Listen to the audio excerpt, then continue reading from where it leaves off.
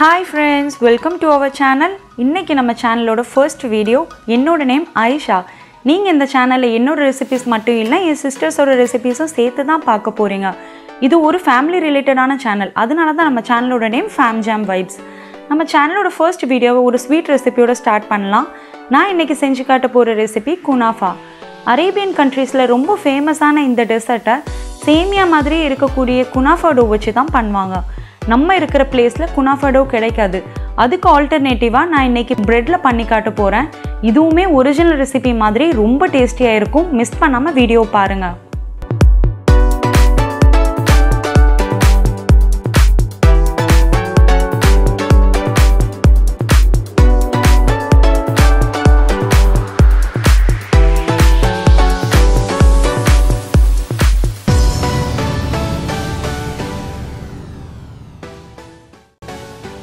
Kunafa பண்ணுறதுக்கு முன்னாடி அதுக்கு தேவையான சுகர் சிரப்பை ரெடி பண்ணிக்கலாம். நான் இன்றைக்கி ஒரு cup sugar and half cup water add பண்ணி இதை நல்லா மெல்ட் பண்ணி எடுத்துக்கிறேன். இந்த சுகர் சிரப் ரொம்ப திக்காக இருக்கணும்னு அவசியம் இல்லை. ஓரளவு ஸ்டிக்கியான கன்சிஸ்டன்சியாக இருந்தாலே போதும். இப்போ இதை நல்லா மெல்ட் பண்ணிக்கலாம். சுகர் நல்லா மெல்ட் ஆனதும் இந்த மாதிரி பபுள்ஸாக வரும். இந்த ஸ்டேஜில் நம்ம அடுப்பை ஆஃப் பண்ணிக்கலாம்.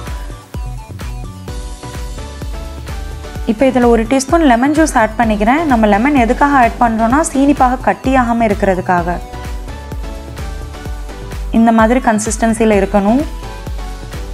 தென் ஒரு டீஸ்பூன் ரோஸ் வாட்டரும் ஆட் பண்ணிக்கிறேன் ஃப்ளேவரிங்காக ரோஸ் வாட்டர் சேர்க்கும்போது நல்ல மணமாக இருக்கும். இப்போ இதை தனியாக எடுத்து வச்சுக்கலாம். கொனாஃபா பண்ணுறதுக்கு நான் இன்றைக்கி பதிமூணு ஸ்லைசஸ் ப்ரெட் எடுத்திருக்கிறேன்.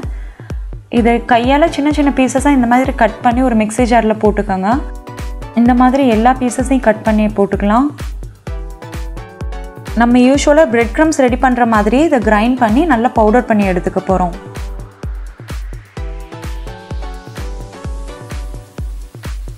இந்த மாதிரி பவுடர் பண்ணி எடுத்துக்கணும். இப்போ இதில் நான் hundred gram melted butter add பண்ணிக்கிறேன். ஆட் பண்ணிவிட்டு நல்லா மிக்ஸ் பண்ணிக்கணும். ப்ரெட்டோட எல்லா க்ரம்ஸ்லேயும் பட்டர் படுற மாதிரி நல்லா மிக்ஸ் பண்ணிக்கோங்க.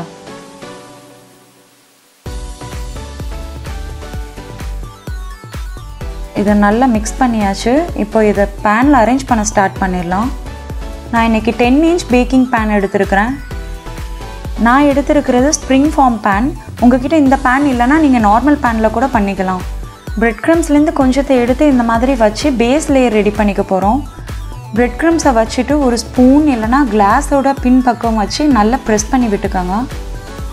இந்த மாதிரி கொஞ்சம் நல்லா அழுத்தி அழுத்தி ப்ரெஸ் பண்ணிக்கோங்க.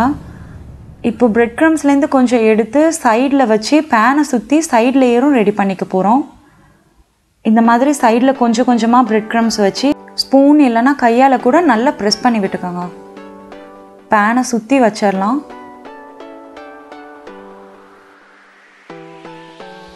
சுற்றி ஃபுல்லாக வச்சதுக்கப்புறம் இந்த மாதிரி கையால் ஒரு வாட்டி நல்லா ப்ரெஸ் பண்ணி விட்டுக்கோங்க.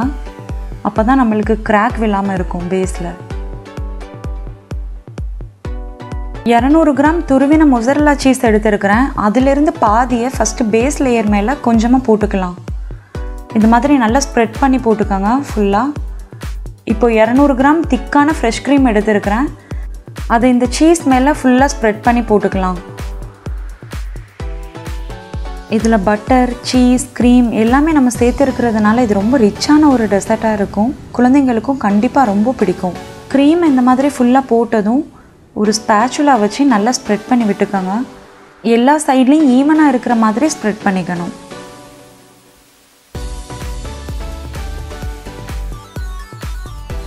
இப்போ மீதி இருக்கிற மொசரலா சீஸையும் இது மாதிரி க்ரீம் மேலே ஸ்ப்ரெட் பண்ணி போட்டுக்கலாம். சீஸும் எல்லா சைட்லேயும் ஈவனாக இருக்கிற மாதிரி ஃபுல்லாக ஸ்ப்ரெட் பண்ணி போட்டுக்கோங்க. ஃபில்லிங் எல்லாம் இப்போ தயாராகிடுச்சு இப்போ அடுத்தது நம்ம டாப் லேயர் ரெடி பண்ணணும். பேலன்ஸ் இருக்கிற எல்லா பிரெட் க்ரம்ஸையும் இது மேலே போட்டு இப்போ டாப் லேயர் ரெடி பண்ணிக்க போகிறோம் இது மாதிரி எல்லா பிரெட் க்ரம்ஸையும் வச்சு சாஃப்டாக ப்ரெஸ் பண்ணுங்க. நம்ம பேஸ் லேயருக்கு ரெடி பண்ண மாதிரி ரொம்ப அழுத்தி ப்ரெஸ் பண்ணிடாதீங்க. உள்ளே இருக்கிற க்ரீம் லீக் ஆயிரும். Side layer and top layer ரெண்டு ஈக்குவலாக இருக்கிற மாதிரி லெவல் பண்ணிக்கணும். இந்த மாதிரி இருக்கணும் பார்க்குறதுக்கு இப்போ இதை பேக் பண்ணிடலாம். நான் ஓவன் ஆல்ரெடி ப்ரீஹீட் பண்ணி வச்சுருக்கிறேன். இப்போ இதை ஒன் எயிட்டி டிகிரியில் பதினஞ்சு நிமிஷத்துக்கு பேக் பண்ணிக்க போகிறேன் டாப் அண்ட் பாட்டம் ஹீட் ரெண்டுமே ஆனில் தான் இருக்கணும்.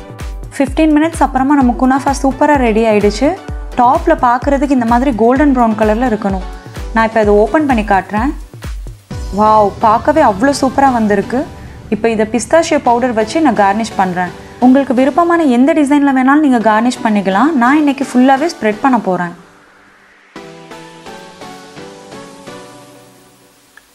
அவ்வளோதான் குனாஃபா ரெடி ஆகிடுச்சு இப்போ இதை சர்வ் பண்ணுறதுக்கு முன்னாடி நம்ம ஆல்ரெடி செஞ்சு வச்ச சீனிப்பாக மேலே ஊற்றி சர்வ் பண்ணிக்கலாம். இந்த டெசர்ட்டை எப்போவுமே நம்ம ஹாட்டாகவும் இல்லைனா வார்மாவோ சர்வ் பண்ணிடணும். அப்போ தான் உள்ளே வச்சுருக்கிற சீஸ் எல்லாம் மெல்ட் ஆகிக்கிட்டு சாப்பிட்றதுக்கு ரொம்ப நல்லா இருக்கும். உள்ளே எப்படி இருக்குதுன்னு இப்போ நான் உங்களுக்கு கட் பண்ணி காட்டுறேன்.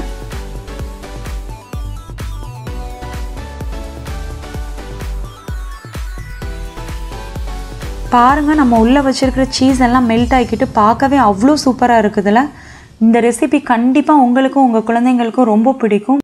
இந்த வித்தியாசமான ரெசிபியை நீங்களும் உங்கள் வீட்டில் ட்ரை பண்ணி பாருங்கள் ட்ரை பண்ணிவிட்டு எப்படி வந்துச்சுன்னு எனக்கு கமெண்ட் பண்ணுங்கள் தேங்க்யூ ஸோ மச் சேனலை சப்ஸ்கிரைப் பண்ணாதவங்க சப்ஸ்கிரைப் பண்ணிக்கோங்க. இந்த வீடியோ பிடிச்சிருந்தா லைக் பண்ணுங்கள் ஷேர் பண்ணுங்கள்